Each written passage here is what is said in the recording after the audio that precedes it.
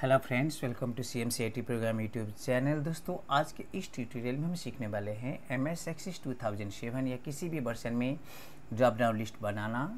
Modify करना और साथ ही जानेंगे ड्रॉप डाउन लिस्ट को डिलीट करना। चलिए शुरू करते हैं आज का ट्यूटोरियल दोस्तों, यहाँ पे देख सकते हैं, ये जो एक टेबल है एम एस एक्सेस विंडो का टेबल है, जहाँ पे बहुत सारे कंटेंट यहाँ पे दिए गए हैं। दोस्तों, सबसे पहले हमें जानना होता है कि ड्रॉप डाउन लिस्ट क्या होता है। दोस्तों ड्रॉप डाउन लिस्ट एक मेनू होते हैं, दो तरह के मेनू होते हैं। एक ड्रॉप डाउन मेनू होते हैं, एक होते हैं पॉपअप मेनू होते हैं। तो जैसे यहाँ पे आप देख सकते हैं कि ये जो कैलिब्री है, यहाँ पे जब भी क्लिक करेंगे तो बहुत सारे फॉन्ट सब यहाँ पे दिखाई देगा। तो ये जो है दोस्तों, इसे ड्रॉप डाउन लिस्ट कहा जाता है, जहाँ पे बहुत सारे कंटेंट सब दिए हुए रहते हैं। यहाँ पे आप देख सकते हैं फॉन्ट साइज़ एट है नाइन नाइन है टेन है, यहाँ पे सेवेंटी टू तक है दोस्तों। तो इसे कहा जाता है ड्रॉप डाउन लिस्ट जहाँ पे बहुत सारे कंटेंट सब फंड सब यहाँ पे दिया गया है। तो आज के ट्यूटोरियल में हम ड्रॉप डाउन लिस्ट हम बनाना जानेंगे। दोस्तों, यहाँ पे आप देख सकते हैं टेबल में ऑलरेडी एक बन चुका है, जिसमें मेल है और फीमेल है, ठीक है? बहुत सिंपल है दोस्तों, पहले हम बनाना सीख लेते हैं। यहाँ पे सबसे पहले क्या करना होगा, हम एक और बना लेते हैं। यहाँ पे सिटी जो है सिटी और बेसिक सैलरी के बीच में एक हम कॉलम लेते हैं और जहाँ पे पोस्ट रहेगा पोस्ट पे मैनेजर डॉक्टर जो भी कंटेंट हम लेंगे, सब ड्रॉप डाउन में क्या होगा इंशॉर्ट होगा, ठीक है? यहाँ से कर देते हैं दोस्तों क्लोज और यहाँ पे टेबल में राइट क्लिक में जाते हैं डिज़ाइन में जाते हैं। डिज़ाइन में जाने के बाद आपको जहाँ पे क्रिएट करना है, उसके नीचे का जैसे सिटी जो है सिटी से सिटी में क्लिक करना है तो सिटी के जेंडर के बीच में क्या होगा आपको? एक हमें फ़ील्ड तैयारी करना है, जिस फ़ील्ड में ड्रॉप डाउन लिस्ट हम अप्लाई करेंगे, ठीक है? हमें क्या करना है? मान लीजिए इससे नीचे जो है, यहाँ पे नीचे क्लिक करेंगे तो अब यहाँ पे क्या करना है? इंसर्ट रॉ में जाना है और यहाँ पे पोस्ट दे देना है। दोस्तों, जब भी पोस्ट यहाँ पे देंगे पी एस टी पोस्ट ठीक है? पोस्ट यहाँ पे देंगे तो यहाँ पे कंट्रोल एस कर देंगे तो यहाँ पे देख सकते हैं पोस्ट में जा करके इसको हमें क्या करना है दोस्तों? लुकअप विजर में क्लिक कर देना है। जब इसमें क्लिक करेंगे तो लुकअप विजर डायलॉग बॉक्स आएगा। तो यहाँ पे सेकंड ऑप्शन क्लिक करके आपको नेक्स्ट में क्लिक कर देना है।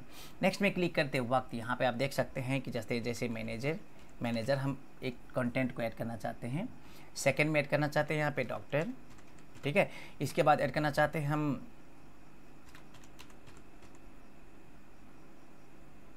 लेक्चरर इसके बाद ऐड ऐड करना चाहते हैं हम वर्कर इसके बाद हम ऐड करना चाहते हैं असिस्टेंट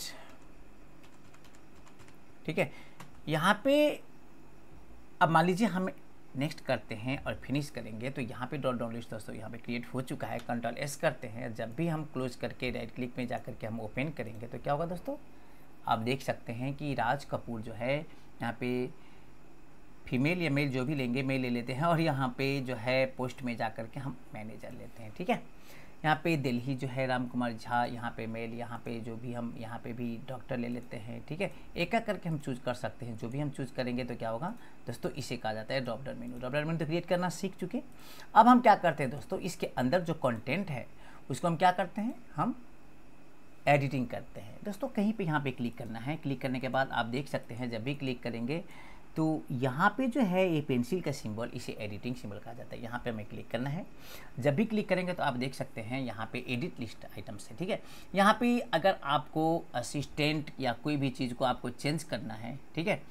यहाँ पे मैनेजर है तो या लेक्चरर है तो यहाँ पे क्या करना है? टीचर कर देना है, ठीक है? यहाँ पे क्या कर देते हैं दोस्तों? यहाँ पे टीचर कर देते हैं।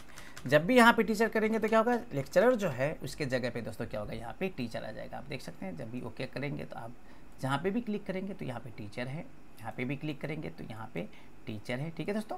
तो इस तरह हम क्या कर सकते हैं? मॉडिफाई कर सकते हैं। मतलब कंटेंट को जो है ड्रॉप डाउन लिस्ट जिसे ड्रॉप डाउन मेनू कहते हैं, इसको कंटेंट को मॉडिफिकेशन कर सकते हैं मतलब चेंज कर सकते हैं।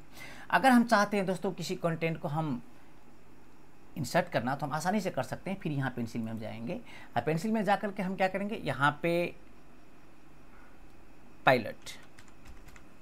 पायलट दे देते हैं, ठीक है? पायलट के बाद हम फिर हम दो ठो ऐड कर देते हैं।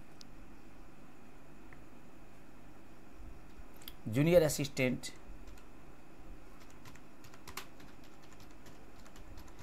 जूनियर असिस्टेंट, ठीक है? जब भी ओके करेंगे तो दोस्तों क्या होगा यहाँ पे?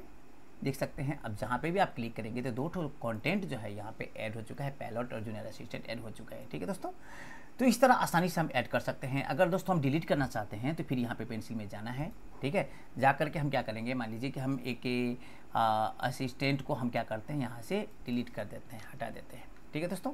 और यहाँ पे क्या कर सकते हैं? डॉक्टर को भी यहाँ से रिमूव कर देते हैं। ठीक है? अगर हम ओके करते हैं तो क्या होगा? अब हम आसानी से यहाँ पे ओके okay करने के बाद क्या होगा दोस्तों? तो यहाँ से जो है ड्रॉप डाउन लिस्ट से दो कंटेंट यहाँ पे रिमूव हो चुका है, ठीक है?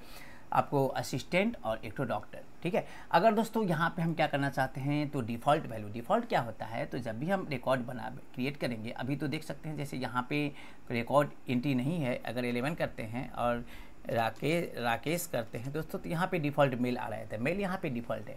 तो इस तरह जो डिफ़ॉल्ट वैल्यू हम जो सेट किस तरह करेंगे तो हम आसानी से जानते हैं। दोस्तों यहाँ पे क्लिक कर देना है और यहाँ पे जो है हम इसमें जाएँगे। इसमें जाने के बाद डिफ़ॉल्ट वैल्यू यहाँ पे सिलेक्ट करके अगर आपको टीचर या मैनेजर जो भी पायलट या जूनियर असिस्टेंट वर्क आ, वर्कर में क्लिक करेंगे ठीक है? तो वर्कर में क्लिक करने के बाद ओके करने के बाद में तो क्या होता है? तो यहाँ पे आप देख सकते हैं कि पोस्ट में जब भी हम रिकॉर्ड को एंट्री करेंगे तो डिफ़ॉल्ट वैल्यू यहाँ पे वर्कर आ जाएगा ठीक है? दोस्तों यहाँ पे देख सकते हैं रुपेश ठीक है?